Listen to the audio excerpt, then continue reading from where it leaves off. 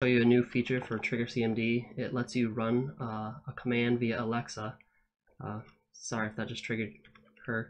Um, it, it, run, it lets you run a command via her uh, that let that um, passes a parameter.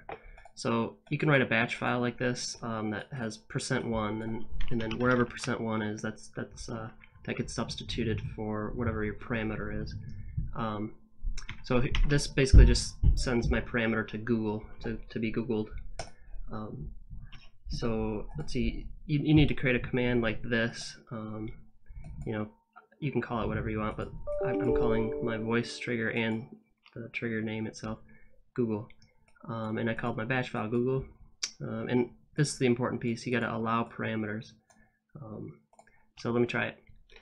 Alexa, tell Trigger CMD to run Google with parameter trigger CMD.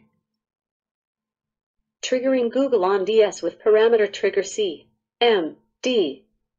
okay, so it sent four parameters, uh, but it only paid attention to the first um, parameter because um, I only have percent one. Theoretically, you could have percent, you know, two, three, and four, and it would have it would have captured that um, C, C, M, and, and D. But um, in this case, there's no point. Um, I just wanted the first word to be Googled um, for this demonstration anyway. Um, that's all. Thank you.